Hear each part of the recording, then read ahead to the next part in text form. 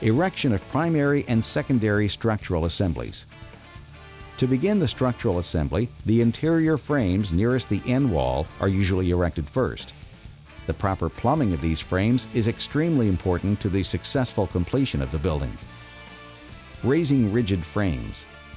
Although several methods are used to erect rigid frames, it has been found most satisfactory to stand the columns first, tie them together with the girts, and then tighten the anchor bolts. The anchor bolt tension may need to be adjusted later when you seat the rafter. On small spans and short eave heights, columns can often be set in place without the use of hoisting equipment. After the columns have been erected, the first rafter should be ground assembled, hoisted into place, and connected to the columns.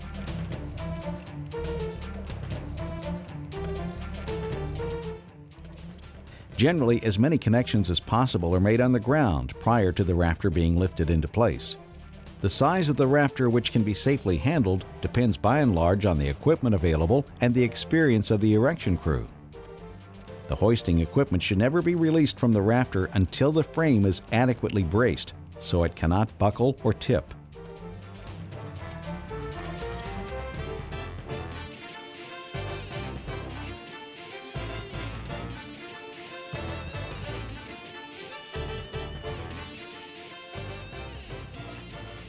Erecting cold form end wall. Prepare the end wall columns for erection by first installing the girt clips. Confirm the direction and placement of these clips by consulting the erection drawings. For ease of erection, all end wall columns have a universal punch pattern, making clip placement repetitive.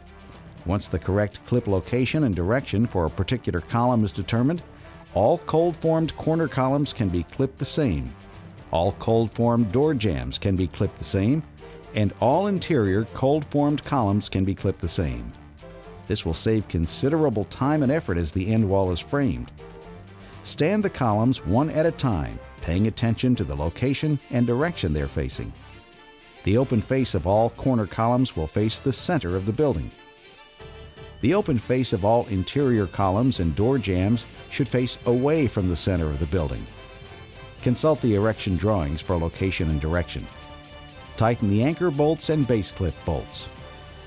All end wall rafter, purlin, girt, and eave strut connection bolts should initially be hand tightened.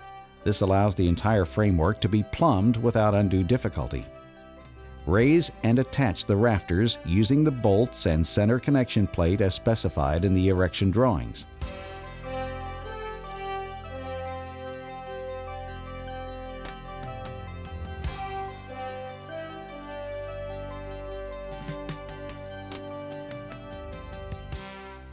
The end wall should never be left standing for any length of time without proper bracing. When this frame has been set plumbed and braced, Mueller recommends that all purlins, girts, and eave struts be installed in the bay. To a large degree, the remaining structural members will automatically plumb and align when installed. All end wall girts and door headers may now be installed.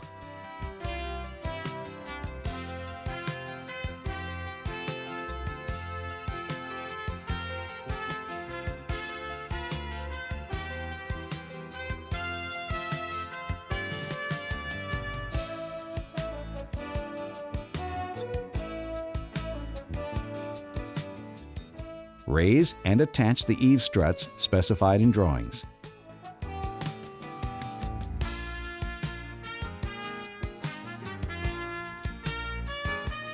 All roof purlins may now be installed as specified. There are two things to keep in mind when installing the purlins. First, purlins have a slightly wider edge and a narrower edge to facilitate nesting together at the overlap point. Install the wider edge of your first length of purlin on the bottom that way, when you install the continuing length of purlin with the narrow edge on the bottom, they will nest correctly where they overlap. Second, note that a purlin or girt lap will have two bolts at the rafter clip and two bolts on each end of the lap for a total of six at each lap. There could also be a finhead bolt covered by the nesting purlin holding the first purlin in place, making a total of seven bolts. By design, this leaves one open hole at the rafter clip to aid in spudding the lap together as necessary. Install all anti-roll clips and flange braces as specified in the drawings. This will stabilize the frame significantly.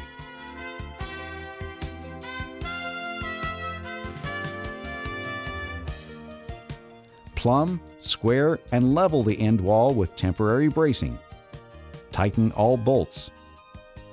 After the entire bay has been assembled, only a final check of the building plumb remains, and a few adjustments, if any, will be necessary. During erection, temporary bracing is required. Never leave a building overnight without proper bracing. Erecting the remaining frames. The remaining frames are erected in like manner, initially with only a few purlins being installed in each bay, working from one end of the building to the other. To lend overall rigidity to the structure, install flange braces to the purlins at specified locations. All purlin, girt, and eave strut connection bolts should be hand tightened so the entire skeleton framework can be plumbed without undue difficulty. The remaining purlins can now be installed on the rafter members.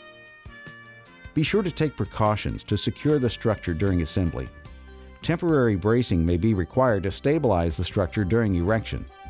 Never leave the structure unbraced. An unbraced frame can easily be damaged by wind gusts. Diagonal wind bracing. Some buildings require permanent diagonal wind bracing. This provides support for wind loads or other longitudinal loads. The erector should review this requirement. On some smaller buildings, diagonal bracing is not needed for the building design, so the erector must furnish any temporary bracing needed. Check building plans to see the specific bracing requirements for your project. If required, the diagonal bracing is cable. It should always be installed as shown on the erection drawing that came with your building, and should be tensioned so that the building will not sway or rock when the wind blows. Care should be taken, however, not to over tighten and bend the structural members. The workman should watch the structural members carefully as they tighten the bracing. Bolt tension. Upon completion of the frame, and after the frame is plumb and square, all bolt connections should be tightened. Even those connections previously tightened should be checked, as they often loosen while the frame is pulled and pushed to completion. Base angle and rake angle. Once the structure of the building has been assembled, install the base angle around the edge of the slab. It is suggested that a hammer drill be used to drill holes the appropriate size in the slab at 36 inch intervals. Use drive pins to attach the base angle to the slab.